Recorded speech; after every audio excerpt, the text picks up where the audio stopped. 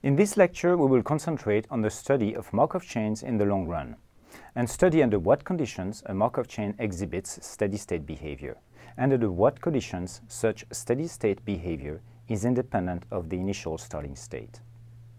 More precisely, we will look at long-term state occupancy behavior, that is, in the n-step transition probabilities when n is large.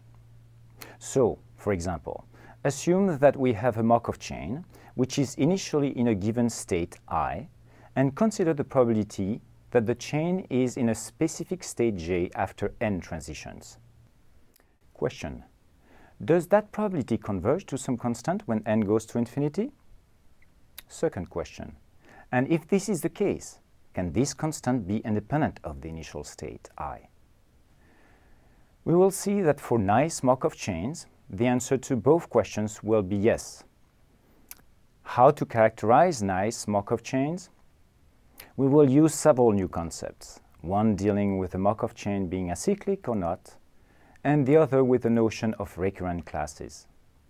Without going into details now, let us simply mention that we will show that the existence of convergence will be tied to having an acyclic Markov chain, and in case we have convergence, the independence from the initial state will be tied to having a single recurrent class.